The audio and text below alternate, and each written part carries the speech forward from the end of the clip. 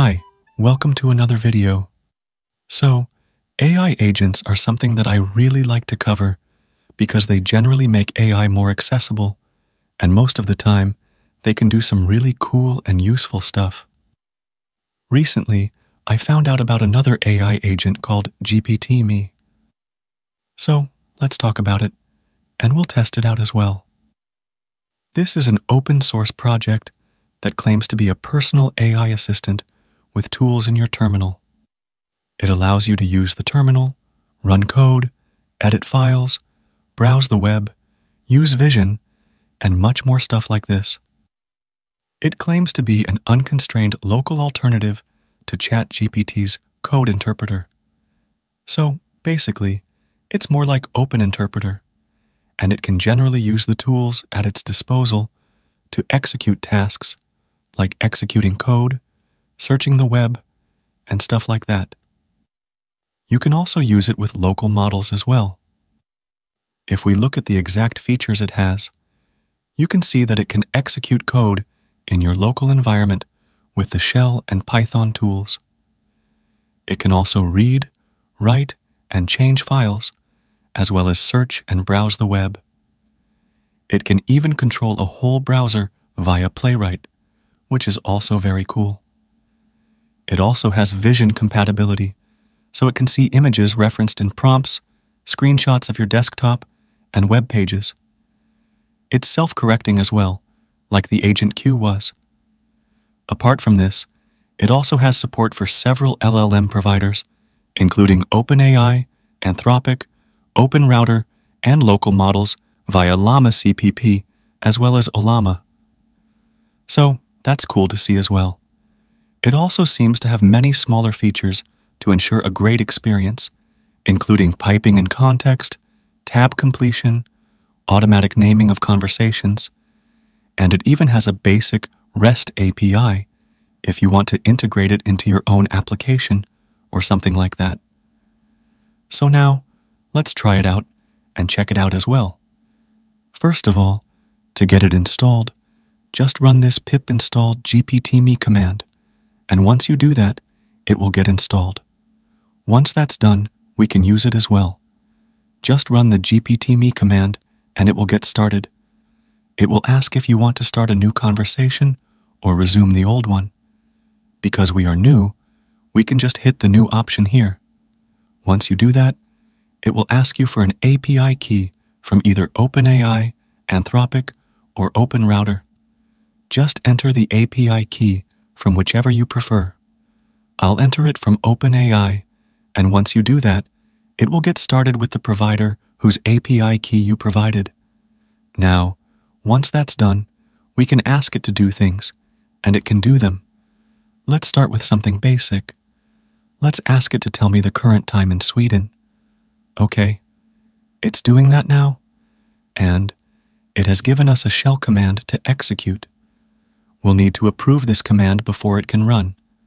So, let's just give it a yes here. Once we do that, you can see we have the date and time here, which is also correct. So, this is a good start for it. Now, let's take it up a notch. Let's ask it to tell us the current stock price of NVIDIA. Let's send it and see. Okay, it's doing that now. Let's wait a bit here. And it's done. So, it didn't work in this case. It just said that it cannot do this. So, I guess this is a fail. Although it should have been able to do this because it can do web searches and stuff. Anyway, their docs say that it can at least browse specific URLs and give data from there. So, let's give it this Reddit thread on why Rust is better than C and see if it can tell us what the post says. It's working on it now, and it's done. So, it wasn't able to do this either, and just said that it cannot browse. I guess these lines should be removed from the README, or at least an unreliable mark should be put next to it. It says that it can even see screenshots of your desktop and web pages. But how, when it can't even browse the web? I mean, it's fine that it cannot do this. but it's not good to tell users about features that it cannot do. Anyway, let's move on. One feature that is mostly mentioned everywhere is that it can do coding. So, let's start with something simple first. Let's ask it to make a simple Minesweeper game using HTML, CSS, and JS. Let's see if it's able to do this or not. Okay, it's doing it now. Let's wait a bit.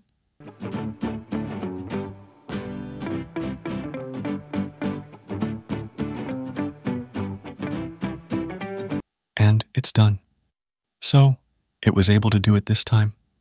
Let's try to run it and see if the code works or not. Okay, this works fine, which is pretty good. So, it can code pretty well. Let's see how well it can read files as well. Let's just open it up from scratch here so that it doesn't have any old context. Now, let's ask it to tell us about the code in the file that it just created in the previous thread. Okay, it's doing that now. And here's the response. This looks pretty good for sure. So, it can read files as well. Another thing it can do is search your past conversations with itself. So, if I ask it to tell me if I ever mentioned Minesweeper in my previous chats, it can do that. It can also run shell commands. So, you can ask it to give you an ffmpeg command, or maybe kill a process, and it can do that. Or it can also remove a directory, or change permissions and stuff like that. It can also run Python scripts directly. So, if you ask it something like, What is 2 plus 2? It will create a Python program for it, run it, and give you the correct information. Or it can do that in case you need the time, like it did when we asked it for the time in Sweden. Another thing it can do is handle images. So, if you ask it to tell you about an image and give it the path, it will attach it to the context and give you the details, which is also good. Also, you don't always need to run it in chat mode like this. You can also just run it as a CLI tool, give it your request, and it will reply with the answer. If it needs any approval, it will ask you for that. You can also use it with a pipe. So, you can give it the output of processes and ask it to end something like the NPM server or something like that. So, that's good as well. Apart from this, you'll also want to use it with Ollama. To do that, first of all, make sure you have Ollama installed. To do this, go to Ollama's site, click the download button, select your operating system, and install it. Once it's installed, go to the Models page and choose the model you want to use. I prefer using the Qwen 2.5 model. So, just go to the model, copy the command, and get it installed. Once it's installed, you'll need to install LiteLLM by running the command pip install LiteLLM. Now, just run a LiteLLM server with your Ollama model like this. Once the LiteLLM server has started, create an environment variable with the OpenAI base URL pointing to the LiteLLM server. It's usually located at port 8000. After setting that up, you can start using it with the Ollama model. You can also do the same with Gemini models by running a Gemini model or any other model via LiteLLM in the same way.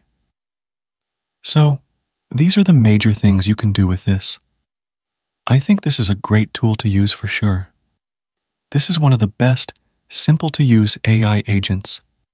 It can do basic stuff like reading and editing files, as well as more complex tasks like coding, executing commands, and things like that. Although I don't know why the browser feature doesn't work, I hope that gets fixed soon, making this even better. Overall, it's pretty cool. Anyway, let me know your thoughts in the comments. If you liked this video, consider donating to my channel through the Super Thanks option below. Or you can also consider becoming a member by clicking the Join button. Also, give this video a thumbs up and subscribe to my channel. I'll see you in the next video. Till then, bye.